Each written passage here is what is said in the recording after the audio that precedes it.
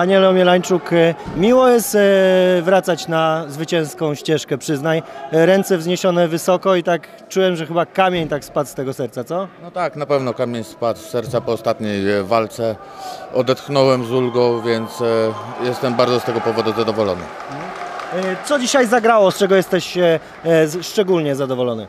Co, nie za dużo zagrało, właśnie za mało zagrało, za mało boksowałem, ale ogólnie był ciężki w, e, w ten sposób, że cały czas e, na wsteku, na wsteku, długi zasięg i próbował kontrować e, na wstecznym. No ale gdzieś go tam trafiłem na, z drugiej strony na brzuch i poczułem, że on już tak poczuł to nie? i zaczął słabnąć. Wy- Wydaje mi się też, że w drugiej albo w trzeciej rundzie wszedł e, e, jakiś e, cios pięścią i miał problem z oddychaniem e, e, twój rywal Umijew. Tak, bo wydaje mi się, że pękło mu coś w nosie, bo zaczął tak gorzej oddychać i sprawdzać nos, nie?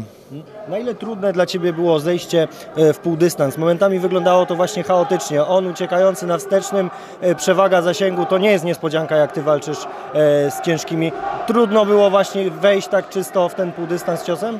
Łatwiej mi się walczy, jeżeli ktoś chce się ze mną bić, a on cały czas na wsteku, właśnie tak jak powiedziałem, próbował kontrować. To było dla mnie ciężko, nie? No, ale jakoś tam postarałem się, przełamałem. A Czy Ty odczułeś któryś e, z jego ciosów? Bo tam e, kopnięcia, no i parę, parę gdzieś tam na twarzy widać obtarć. Dostałem w tył głowy raz i to poczułem. A tak to wszystko dobrze. Dużo było problemów z tym, że stał w takiej samej pozycji jak ty jako leworęczny, bo nie, nie miałeś chyba za wielu sparring partnerów leworęcznych. No nie, nie miałem dużo, ciężko było, ale całe szczęście on też e, zmieniał to pozycję, więc mi to bardzo pasowało. E, Te ponowienia na górę to był klucz do tego, czułeś, że trafiałeś, bo było widać, że pod siatką wchodzą te trafienia. Jak ty czułeś? Mocno wchodziły? Nie, no, widziałem, kopnąłem go raz, dwa, trzy. On gdzieś tam dostał na nogę i potem e, dostał haja i widziałem, że on już zaczyna słabnąć i ta presja, który cały czas szedłem do niego do przodu, to go męczyło, nie? A te obrotówki piętą to skąd wziąłeś? Bo ostatnio no, Anderson Silva je chyba robił. Ja często robię na sparingach obrotówki na głowę, na e, kolana, wiesz, na nogi, to robiło robota. Się czuje w parterze niż w stójce. Powiedz mi, czy nie zdziwiło Cię to, że on dopiero e, próbował raz się obalić w trzeciej rundzie? Znaczy, e, byłem cały czas czujny, bo wiedziałem, że jeżeli będę go przełamywał w stójce, to on będzie szedł do parteru, ale byliśmy doskonale przygotowani na to, żeby nas nie zaskoczył obaleniami. Znaczy to też nie było tak, że jak mu się nie udało Ciebie obalić w tej trzeciej rundzie, to zrozumiał, że nie za bardzo e, nie ma sposobu już na to i dalej kontynuował e, w stójce próbując.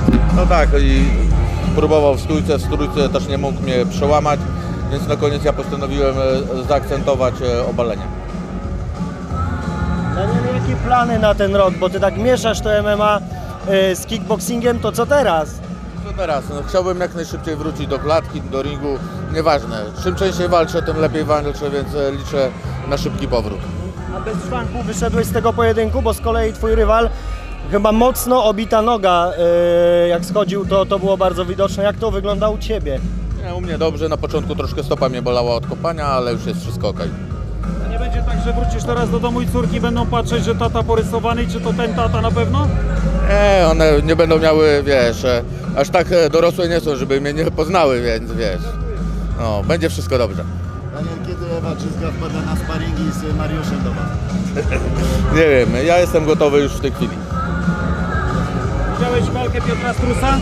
Tak, widziałem, uważam, że pierwszą rundę przegrał, dwie kolejne wygrał i uważam, że troszkę go przewieźli z werdyktem. Dziękuję.